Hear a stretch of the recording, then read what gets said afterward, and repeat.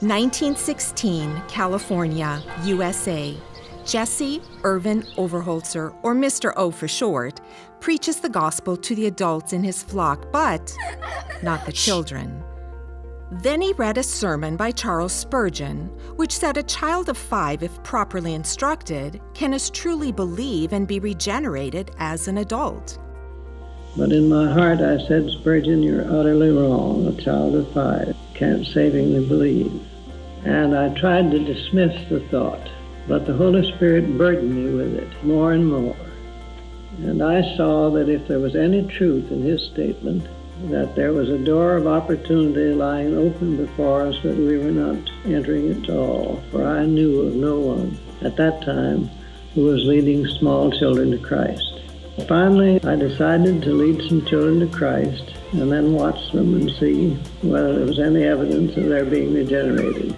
Among the 20 children Mr. O led to Christ were two sisters. Soon after, their mother came to a revival meeting and accepted Christ herself. As soon as I felt that I could, I went to her and said, Would you mind telling me what has influenced you to come to Christ? And she said, The changed lives of my two little girls. And that's what started me in child evangelism. Mr. O left the pastorate and began a child evangelism movement. Inspired Christians gave funds to hire two full time children's missionaries. Each missionary taught five after school Bible clubs. In just the first three months, 300 children trusted Christ, and hundreds more attended the clubs. More volunteers joined the movement, but they needed training. In 1923, Mr. O started a school later known as Children's Ministries Institute. These new children's missionaries taught in churches, homes, and when there was no room indoors, they taught outside. Then in 1929, the Great Depression hit. Funds and morale were low, but God supported the missionaries and the work continued.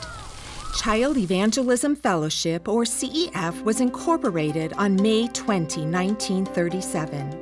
Its first offices were donated by a volunteer, Mrs. Gwendolyn C. Armour. Mr. O traveled North America challenging churches to reach children. He preached from Matthew 18 so often the whole page wore out. Matthew 18:14 says, "So it is not the will of my Father who is in heaven that one of these little ones should perish." CEF ministry grew across the United States, but Mr. O's heart was heavy for the children of the world. He often wept as he prayed for an army of child evangelists encircling the globe. And God answered.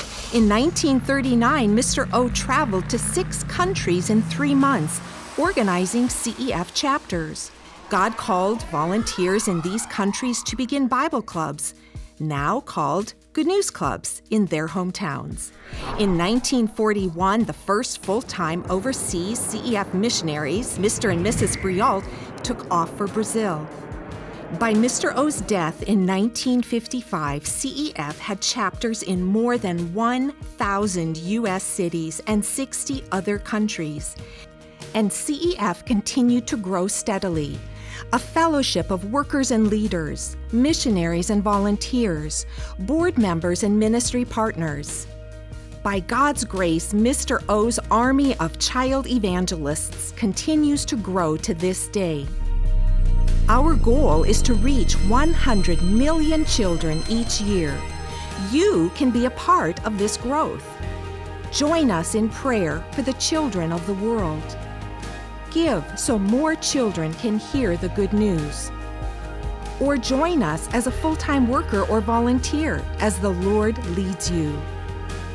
With God's help, let's work together to reach every child, every nation, every day.